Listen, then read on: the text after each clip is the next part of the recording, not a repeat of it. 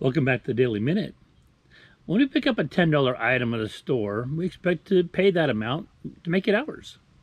The store placed a value on it, and I must pay that price or leave it. The cost of our salvation is in Romans 5.10, and we must agree to the charges.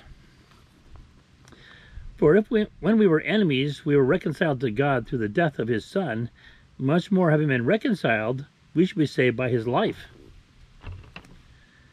People who say they have no sin, or those who deny their sin, that it is bad enough to send them to hell, don't understand their predicament.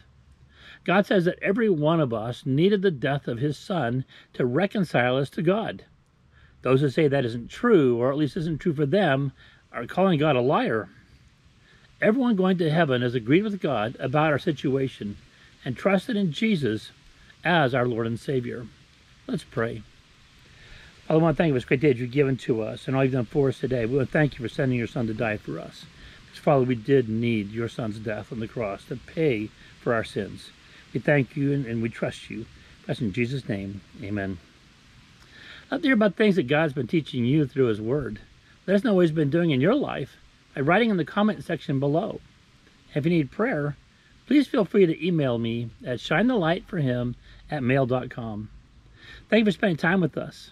Make sure to join us tomorrow as we read Proverbs 16 during our weekly scripture reading, then again on Monday as we look at the difference between payment for our sin and qualification for heaven. May Lord bless you, and we'll see you tomorrow.